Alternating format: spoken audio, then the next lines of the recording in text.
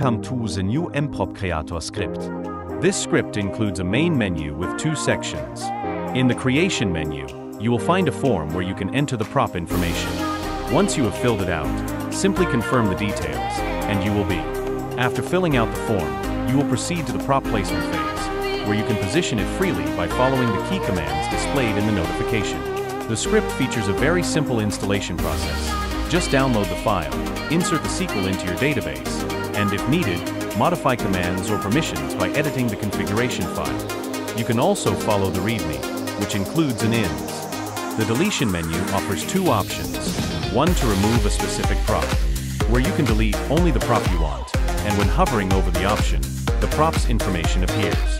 The deletion menu also includes an option to remove all created props. This script is completely free, and I would greatly appreciate your support by leaving a star on GitHub and a review on Discord or in the comments of this video.